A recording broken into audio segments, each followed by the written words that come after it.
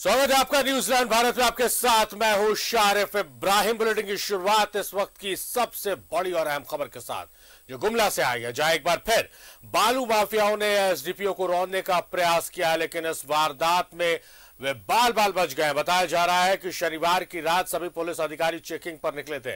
इस दौरान जब टीम के लोगों ने अवैध बालू से लदे एक ट्रक को रोकने के लिए हाथ दिया, लेकिन चालक पुलिस को चकमा देते हुए एसडीपीओ को धक्का मारते हुए वाहन लेकर तेज़ी से फरार हो गया।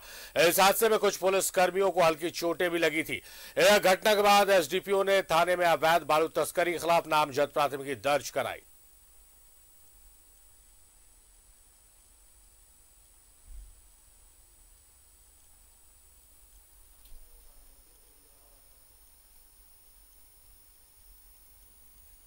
से कोयल नदी से अवैध बालू निकालता है, भंडारण करता है और कुछ लोग रैकी करता है और उसको कुछ लोग जो है ले जाके अवैध रूप से बिना चलान के, बिना गवर्नमेंट को रेवेन्यू दिए हुए जाके रांची में सप्लाई करता है, बाहर ले जाता है।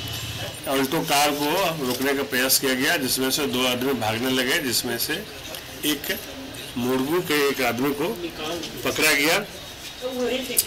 जिसका नाम वसीम मीर है।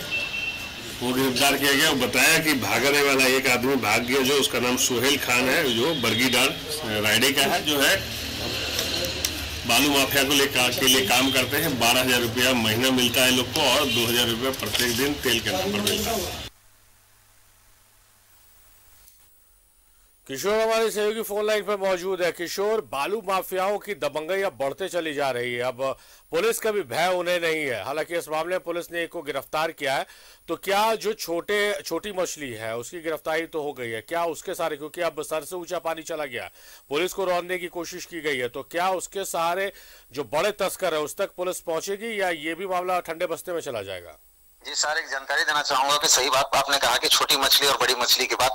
तो यहाँ पर मैं आपको बताना चाहूँगा कि यहाँ जो बालू उत्खनन का मामला चल रहा है, वो काफ़ी जोरों शोर से चल रहा है। रात्रि में जेसीबी लगाकर बालू का उत्खनन किया जाता है उसी बसिया के रास्ते रांची तक पहुँचाया जा रहा है। इसी को लेकर एसडीपीओ मनीष चंद्र लाल के द्वारा ये स्थित रात्रि में जाकर छापेमारी करते हैं। उसी को लेकर सामने से अवैध बालू लोड करके जो हाईवे ट्रक आ रही थी और इशारा देते हुए फिर तेज़ी बढ़ा दी। और उसी को लेकर एसडीपीओ के गाड़ी में भी टक्कर मारा है। तो उसी में एसडीपीओ के जो बॉडीगार्ड हैं, उनको भी हल्की चोट लगी थी, जबकि इन्होंने भागकर अपनी जान बचाई थी। और उसको को लेकर जब आगे से एक रेकी किया गया तो उसी में एक अल्टो का, जो रेकी कर रही थी, उसी में जब उसको रोकने का प्रयास किया गया तो उसमें भी दो लोग थे, और जबकि दोनों लोग भागने का प्रयास कर रहे थे तो दौड़ा के एक लोगों को पकड़ा गया है, जी।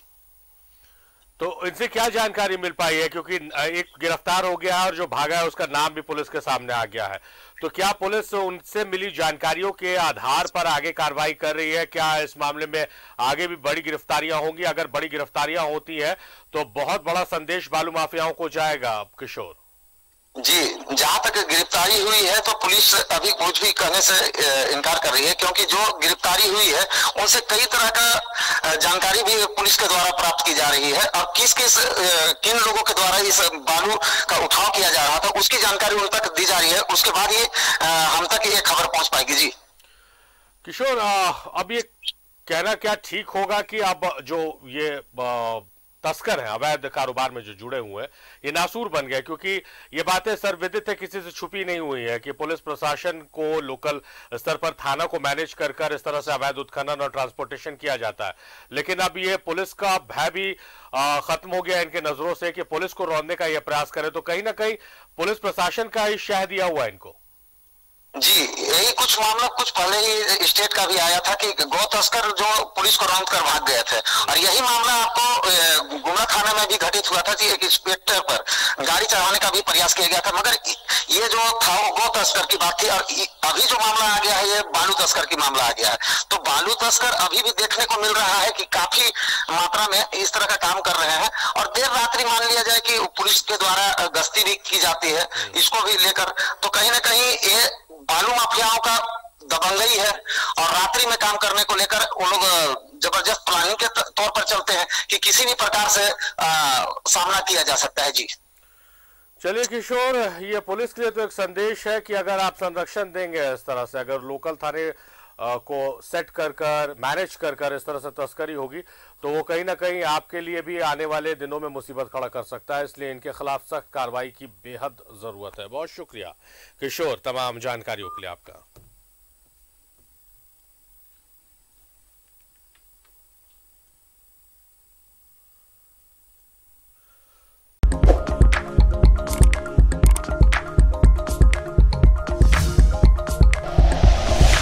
Like and share videos, subscribe करें हमारा चैनल और प्रेस करें बेल आइकॉन न्यूज़ 11 भारत सच है तो दिखेगा।